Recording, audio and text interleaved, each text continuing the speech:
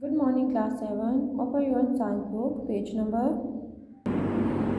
page number 2. Unit number 1, the digestive system. ठीक है अब डाइजेस्टिव सिस्टम में सबसे पहले हम स्टडी करेंगे about five basic categories of the food which we eat ठीक है फ़र्स्ट कैटेगरी है कार्बोहाइड्रेट्स कार्बोहाइड्रेट्स जैसे कि आप शुगर स्टार्च जितनी भी फ़ूड में आपकी शुगर कंटेंट होगा, उसमें कार्बोहाइड्रेट प्रेजेंट होंगे और बेसिकली ये क्या करते हैं? एनर्जी देते हैं। प्रोटीन्स ये बॉडी बिल्डिंग है। फ़ूड की आपकी बॉडी के लिए आपके डैमेज पार्ट्स को रिपेयर करते हैं। Fats these are basically the stored layer of insulation under the skin ठीक है? उसके बाद आती है minerals minerals describe as a whole collection of phosphorus calcium sodium ठीक है? और ये आपकी बोन्स के लिए अच्छे होते हैं, आपकी स्किन के लिए अच्छे होते हैं, आपको हेल्दी रखते हैं ओके और लास्ट में एक आता है वाइटामिन वाइटामिन क्या हैं? ये इजेंशियल्स हैं, आपकी बॉडी के लिए बहुत ज़रूरी है। आप लोग उसमें vitamin A vitamin B vitamin K vitamin C vitamin D ये सब जो हैं आपकी बॉडी की स्वेटिंग के लिए ब्रीदिंग के लिए बोन्स के लिए टीथ के लिए ग्रोथ ऑफ़ नेल इस सब के लिए क्या है? बहुत इंपॉर्टेंट है।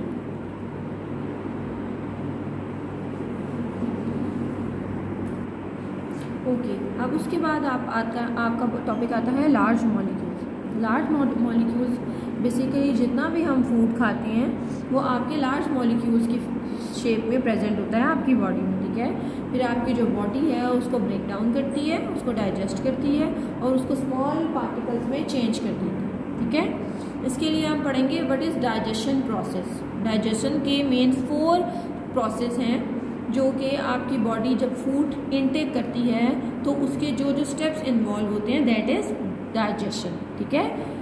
फ़र्स्ट आपका प्रोसेस आएगा मैकेनिकल ब्रेकडाउन ठीक है? मैकेनिकल ब्रेकडाउन में क्या होगा? आपकी फ़ूड जो है बाय चूइंग प्रोसेस से, यानी आप उसको चबाएँगे अपने टीथ के ज़रिए तो क्या होगी? उसकी मैकेनिकल ब्रेकडाउन होगी। उसके छोटे छोटे पीस हो जाएँगे। उसके बाद आती है द केमिकल ब्रेकडाउन अब केमिकल ब्रेकडाउन कैसे होगी? जितना भी आप फ़ूड खाएँगे, आपकी बॉडी के अंदर स्टमक है बाइल है डिफरेंट ऑर्गन्स हैं गॉल ब्लेडर है, ये क्या करते हैं? ये कुछ एसिड कुछ एंजाइम्स जो हैं वो प्रोड्यूस करते हैं, ठीक है? और वो एंजाइम्स जो आपकी जितनी भी फ़ूड आपने इनटेक की है that food is directly break down by these enzymes ठीक है? इनका क्या हो जाएगा? केमिकल ब्रेकडाउन हो जाएगा। उसके बाद आता है नेक्स्ट स्टेप अब्जॉर्प्शन आपके जब सारे लार्ज मॉलिक्यूल स्मॉल मॉलिक्यूल्स में चेंज हो जाते हैं तो absorption of small molecule that body can use उनकी अब्जॉर्प्शन होती है ताकि आपकी बॉडी इन एनर्जी फॉर्म उसको यूज़ कर सके। एंड लास्ट स्टेप आता है removal of insoluble waste material from the body आपकी बॉडी के लिए जो चीज़ ज़रूरी नहीं है, आपकी बॉडी उसको अपनी बॉडी अपनी बॉडी से आउट कर देती है, उस वेस्ट मटेरियल को, ठीक है? अब आप लोग ये डायग्राम देखेंगे। इस डायग्राम में बेसिकली क्या शो हो रहा है? आपको होल डाइजेस्टिव सिस्टम शो हो रहा है, ठीक है? सबसे पहले आप माउथ और टीथ यूज़ करेंगे अपने मैकेनिकल ब्रेकडाउन के लिए।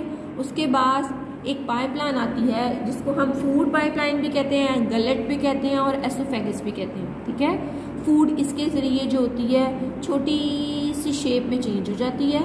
उसके बाद जाती है लिवर में देन स्टमक में। गॉल ब्लेडर और पेंक्रियाज जो होते हैं, आपके इंजाइम प्रोड्यूस करते हैं फ़ूड की big particles again small particles में चेंज हो जाती हैं। उसके बाद फ़ूड जाती है आपकी स्मॉल इंटेस्टाइन में देन लार्ज इंटेस्टाइन में। और उसके बाद जब ये सारी अब्जॉर्प्शन आपके ब्लड के अंदर हो जाती है, आपका जितना भी फ़ूड है, वो एनर्जी की फॉर्म में आपके ब्लड में चला जाता है, सारी अब्जॉर्प्शन कंप्लीट हो जाती है। उसके बाद जो waste material the material which your body does not want वो क्या चली जाती है वहाँ पर? रेक्टम में। और रेक्टम से देन एनस में एनस के ज़रिए आपकी बॉडी जो है वेस्ट मटीरियल को बाहर आउट कर देती है। Okay this is your digestive system अब आप अपने हैंड्स आउट ओपन करेंगे। इसमें क्या है कि आपने डे वन का काम करना है। आप लोगों ने डाइजेस्टिव सिस्टम पढ़ लिया, मैंने आपको समझा भी दिया। अब आपने अपनी कॉपीज में राइट डाउन करने हैं क्वेश्चन आंसर्स ठीक है? ये लॉन्ग क्वेश्चन है first question what is digestion what are the steps involve in the process ठीक है? इसका पेज नंबर थ्री पे आपको आंसर मिलेगा। आप लोगों ने देखा है कि पेज नंबर थ्री पर मैंने आपको ये क्वेश्चन बताया है। इसका यहाँ से लेकर ये फोर स्टेप्स जो हैं, इसका आंसर है, ठीक है? साथ आप इसकी डायग्राम भी अपनी कॉपी पर ड्रॉ करेंगे, ठीक है? और साथ आप इसकी डिटेल भी लिखेंगे। ये इसका आंसर है। थैंक यू आज के लिए इतना ही।